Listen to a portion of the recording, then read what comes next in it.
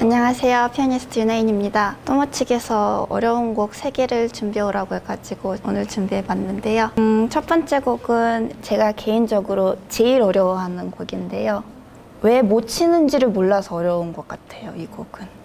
하겠습니다.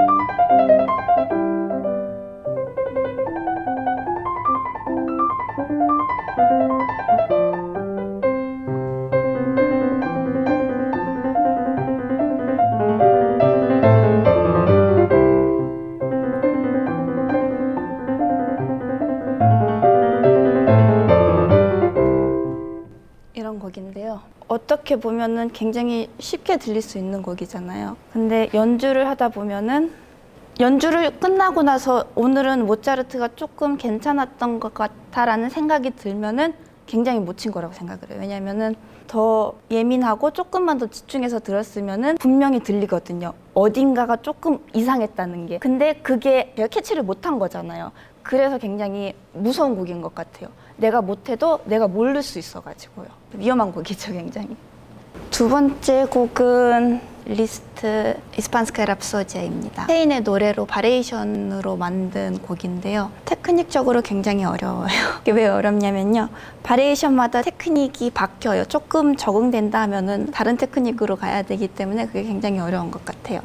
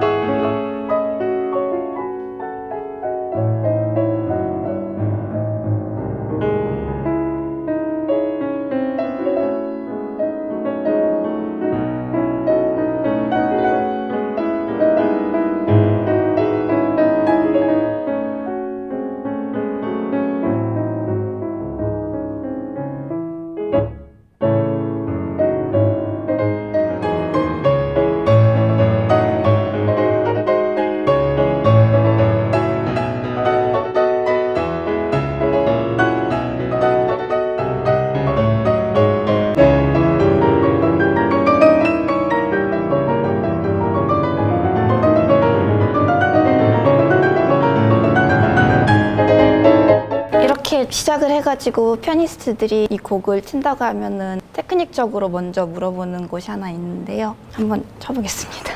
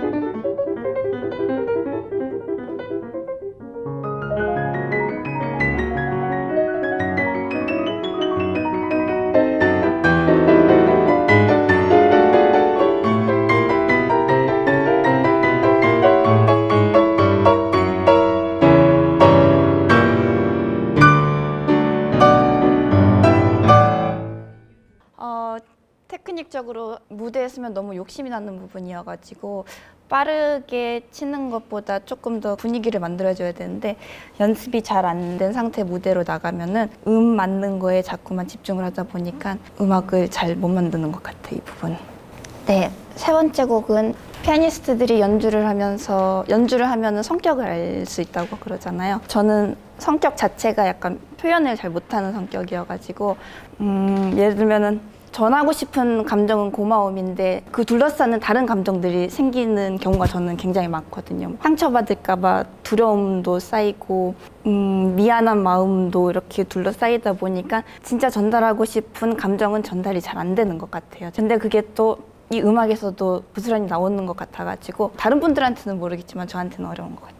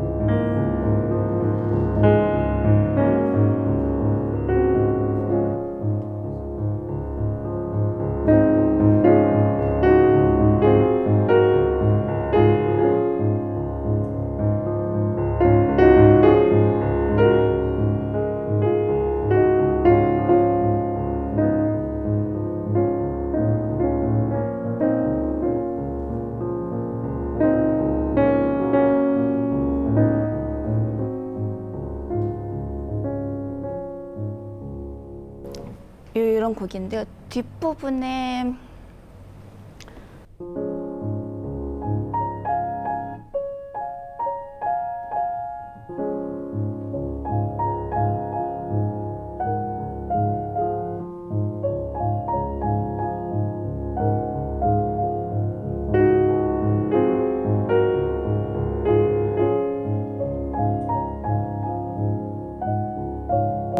이 부분도 굉장히 제가 어려워하는 이유 중에 하나가 저는 감정선이 두 개라고 생각이 들거든요. 이, 이 부분을 할 때마다 그런 거를 음악이다 보니까 소리로 전달하는 게 칠 때 그냥 어떤 감정이라고 정하고 치기가 싫어서 어려운 것 같아요. 그냥 딱 앉았을 때 그 순간을 만들고 싶지만 그게 그렇게 쉬운 게 아니잖아요. 어떤 진, 진실된 신- 순간을 만든다는 것 자체가. 그래서 어려운 곡이에요, 이게. Música